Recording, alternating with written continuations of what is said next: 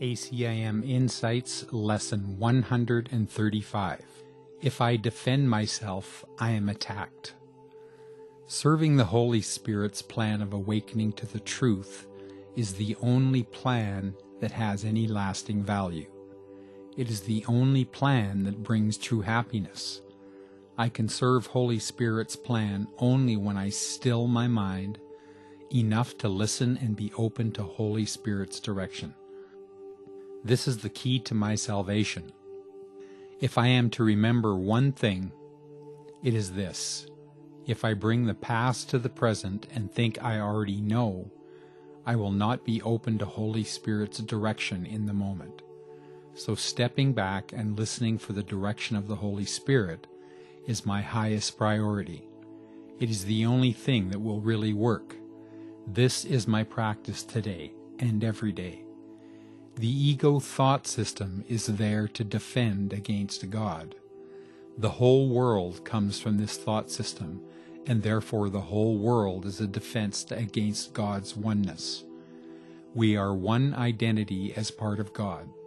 Separate identities could never be true. Separate interests could never be true. Returning to love as our one identity is the answer.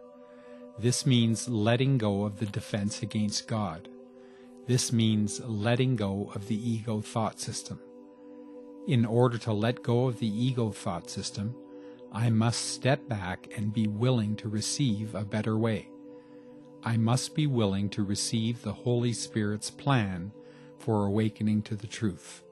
I must remember that on my own, I do not know what anything means.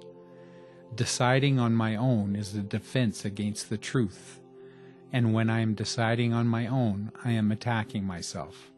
Letting go and letting God is the only answer that will work. Where do I place my trust?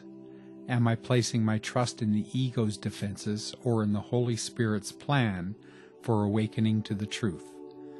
I make this choice every moment. Am I bringing the past to the present and deciding on my own? Or am I opening my mind and asking for the Holy Spirit's direction in this moment? As I trust in the ego's plans, I am defending against God. As I open to Holy Spirit's plan, my mind is transformed and I awaken to my true identity, my one self in God. I make this choice every moment of the day, whether I realize it or not. Today, my practice is to step back and be open to Holy Spirit's plan. From this one decision, everything that I really want comes with gentleness and ease. This is my answer to every problem I may think I have. The more I practice stepping back and letting Holy Spirit be my guide, the more peaceful and happy I am. Whenever I try to make plans on my own, to figure out what will bring me what I want or make me safe, I experience tension, stress, and uncertainty.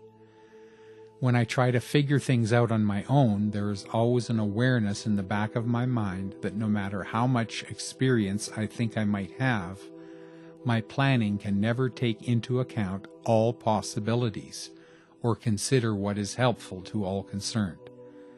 So planning on my own always carries a level of uncertainty. Peace and uncertainty cannot coexist. If I want to experience peace in my life, I must give up all planning on my own. I have had enough experience when I allowed myself to receive Holy Spirit's plan and found it to know that His plans work. They save time. They are always helpful and kind. They always help me loosen my identification with the forms of the world. They always help me feel more safe and aware of the love that surrounds me and is me. This is what I want. Today I will practice again and again, stepping back and receiving Holy Spirit's plan. I resign as CEO of my life and appoint Holy Spirit as my CEO. I would not lead but only follow his plan. The other day I received a bill in which I was clearly overcharged, and I was immediately outraged at the amount and prepared myself to call these people and tell them that they had made a mistake and boy, they better fix it or else, etc. And then I decided that if we couldn't come to an agreement about the bill, the charge was going to go on my credit card and I'd have to pay for it anyway if I was going to buy the house I want. And furthermore, I thought about how we get screwed in life and on and on. And what happens when I call people like this to discuss a discrepancy? They are prepared for people like me and are ready to defend themselves. I can almost hear the ego sitting back and laughing at both of us because we're doing exactly what it wants us to do. There are days when the only thing missing in my life are the boxing gloves. I go around angry and ready to attack anyone who looks at me wrong. Even though many times I don't understand these lessons because the illusions seem so real to me, and I feel totally justified in my need for defense, the lessons have taught me to stop or at least slow down and question my thoughts, which the lesson says are in need of healing. It says a healed mind does not plan, which to me means staying in the moment, as it is so true that reliving the past determines our future. There's been so many times when I've been in a situation and I think to myself, I just know what's going to happen. I never realized I had the power to make it happen. Most Holy Spirit, help me today to step back and allow you to lead the way for me. Help me to know I don't need to defend myself because I am not being attacked. Amen. This was a lesson I had to read over many times, meditate on, and ask the Holy Spirit for help to understand. My life has been such that to be attacked and not to defend myself would mean that I would die. I grew up in racially divided, tough ethnic Detroit, was a soldier in Vietnam, and a fireman for years.